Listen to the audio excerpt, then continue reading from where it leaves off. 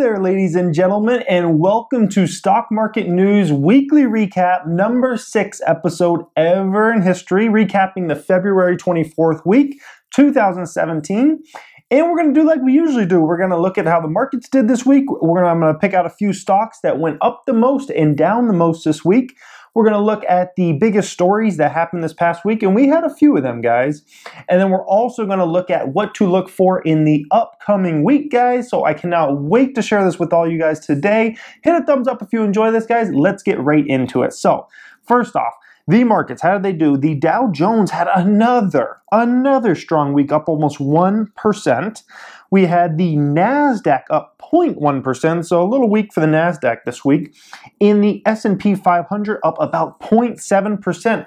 Guys, the markets are just in a really good place right now. It just it seems like every week I do this show, which is this is a 6 week we've done it. It seems like every week it's like up, you know, and the markets are just doing very well overall throughout the year. I mean, you can look at how much they're up year to date, and it's it's quite amazing considering we're not even two months into the year and how much they're already up, guys. So we're off to a strong start here in 2017. Uh, let's check out and see some of the biggest movers this week. So. RH, Restoration Hardware, moved up over 17% this week. Today alone, it moved up 24%. I'm so pissed about this one.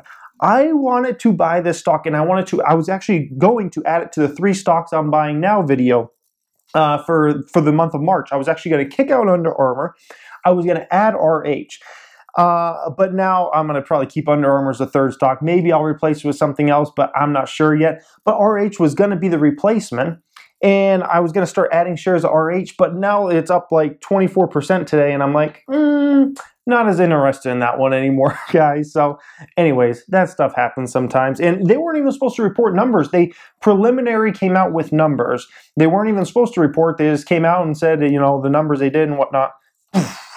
The next stock up that went up uh, a lot this week, we had Lumber Liquidators up 13% this week. This is a flooring company. They had a lot of issues the past year or two with the, some illegal chemicals they were using or whatever that came from China. A lot of issues were with that company. They had a strong week though. Southwestern Energy was down 15% this week. They're an oil and natural gas company. Anything oil and natural gas related, it's tough business right now. Texas Roadhouse, one of my favorite restaurants uh, I used to like to go to a lot. Uh, they went down 13% this week, so they were a big mover down, guys. So that covers some of the biggest stocks that went up and down the most this week. And it also covers how the markets did. Let's look at some of the biggest stories this week. So, biggest story that caught my eyes this week was the US exported a record amount of crude oil, topping one or topping a million barrels a day for the second week and filling the gap in the world's markets created by the OPEC cutbacks. Shale and other U.S. producers sent 1.2 million barrels of crude oil onto the world markets last week, up nearly 200,000 barrels a day, guys. 200,000 barrels from a week earlier of about 350,000 barrels above the four week average. This is absolutely amazing, guys. Absolutely amazing. So, just the fact that the US were exporting exporting oil at all in that that amount of oil, it is mind blowing to me, guys, because it was 10 years ago that we were basically completely oil dependent. And it was all before fracking came along. Fracking completely changed the game, guys. That's the way technology does it nowadays, guys. You can go from being screwed to just being uh, in a great situation, which is what the United States is because of the fracking technology. We are so less dependent. We're not dependent at all on the Middle East countries for their oil now, guys. It's absolutely phenomenal. So, something else I want to point out here with this whole uh, OPEC and oil deal, and it has to do with the oil price, which affects all companies and affects every consumer and every person watching this, right? Well, OPEC, which is basically basically most of the Middle Eastern countries and a few other countries and whatnot, and that are very oil rich, right? They're in a catch twenty two here, guys. They're they're screwed either way. It's like the knife slicing them both ways because if they up their production, what's going to happen to the price of oil? It's going to drop dramatically, which will then hurt them all.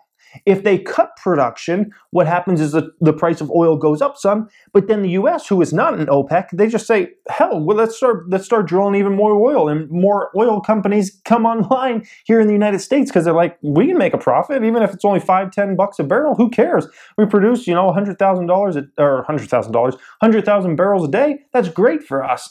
So OPEC is a really screwed, guys. They're in a bad situation that they're they really can't control. They really can't control it, guys. So it's totally changed the game of, of where oil's going long term and short term as far as pricing goes, guys. So that's the biggest story that caught my eyes. Number two biggest story was Tesla reported numbers. Good old Tesla. You know, I know I love Tesla. I do not, I'm not a shareholder of Tesla. I don't own a Tesla, but I think the company's onto some great things. So they reported some uh, just phenomenal numbers here, guys. Q4 Model S and X orders reach record highs, and that's orders, not production. Orders reach record highs. Model 3 on track for initial production in July, volume production by September. So we're looking at about six months, seven months till they have volume production. Battery cell production started at Gigafactory number one. That's a really good sign for them. All Tesla vehicles in production have hardware necessary for full self-driving. This is a huge competitive advantage for these guys. Uh, Solar City and Grohmann uh, integrations underway. Q4, or excuse me, Q3 to Q4 cash increased by over $300 million to 3.4 billion. That's a great sign. 2016 revenue up 7 billion, or excuse me, uh, 2016 revenue of 7 billion, up 73% from 2015 here, guys. That is absolutely amazing. Absolutely amazing. A few other metrics I want to look at here in regards to Tesla, guys, was the vehicle production number here, guys. They went from 20, they went from 14,000 vehicles in December 31, 2015 period to now almost 25,000 vehicle production. So that's a 77% increase. So that's awesome. They're getting production online. Vehicle deliveries was up 27% year over year. So that's absolutely phenomenal, guys. So Tesla's really doing some amazing things here. And then last thing we have is the solar roof, which is their whole new um, acquisition of Solar City. Here they say, we are working to make solar energy generation even more compelling with improved products and even better value with our acquisition of Solar City Complete. We plan to reduce customer acquisition costs by cutting advertising spending, by selling solar products in Tesla stores. That is freaking really smart. And shifting from leasing to selling solar energy systems. So that's a, you know, this is kind of proving how smart, well, and of course it's a long way to play out, but this is how smart of an acquisition this is because instead of having to spend so much on advertising Tesla, now they can just go ahead and say, you know, let's sell those products right in the Tesla store. So now not only can you go into a store to buy a Tesla, if you're interested in Tesla or look at that, you can also go in there and buy a new roof if you want a new solar roof, guys. So really good things at Tesla. Just the numbers were great overall. I believe the stock did drop on the earnings, but you know, it's hard with these stocks that basically are losing money because Tesla is losing money at the end of the day. They're spending so much. If they cut back on spending, obviously they could make a profit, but if they cut back on spending, then they wouldn't be what Tesla is trying to go for, which is the dominant auto player in the United States and most of the developed world. Now, another company that reported earnings was Home Depot. They reported some great numbers and they, their stock went up. They reported EPS of $1.44 a share versus $1.34 a share, uh, was what analysts were expecting. They did $22.21 billion versus analysts expecting $21.8 billion. Comparable store sales a 5.8% increase. That's phenomenal. Versus a 3.7% increase. That's probably the most impressive thing. Comp store sales. Anybody that's worked in retail or is an investor in retail, you guys under, probably understand how, how hard it is to get comparable store sales to go up, especially when you're an established retailer like Home Depot is, guys phenomenal numbers. The housing market, you know, coming online and really becoming a very good thing here in the United States. You know, the housing market's fairly strong right now. When the housing market's fairly strong, when people feel good about their housing prices, guess what they go out and do? They go out and spend money to improve that house even more, buy new countertops and floors, all those kinds of things. And a lot of them are doing it at Home Depot, obviously, guys. So really strong numbers there. Walmart reported numbers. They actually did way better than I expected. Walmart impressed me. I'll just be straight up about that. Walmart US uh, Q4 sales grew 1.8% And Walmart US e commerce GMV grew 36%, guys. Absolutely amazing. Absolutely amazing. So, Walmart is, is they're they're getting better at trying to fight Amazon. They're in a tough situation with Amazon right now because Obviously, Walmart's so physical retail store driven and the world's going to online. So Walmart's trying to fight that and they're doing a pretty dang good job. I will say a, a 30% revenue growth, that is or that's amazing to me that they did that type of number. I was not expecting that.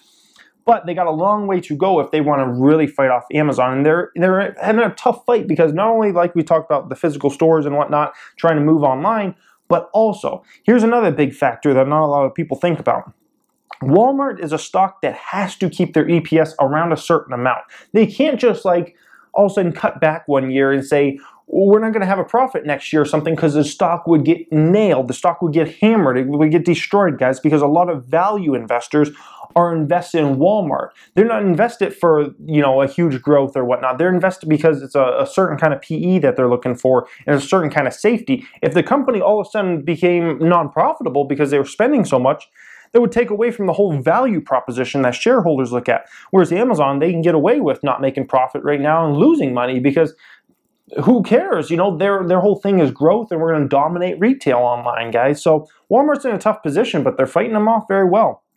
So, what are we looking for next week? Next week, we got a few things. Warren Buffett, he was releasing his annual letter actually tomorrow. So, if you guys want to read that, it's, I think the way he explains things is just phenomenal. I think also he has a great insight on uh, the total macroeconomics, not just in the United States, but around the world, because his company owns so many companies that are in so many different sectors, guys, that he really gets a, a full view every single day of his life of, of how the entire economy is doing in the United States and worldwide. So that's coming up. And also, he's doing an interview on CNBC on Monday morning, very early Monday morning. It's going to be like a two, three hour interview.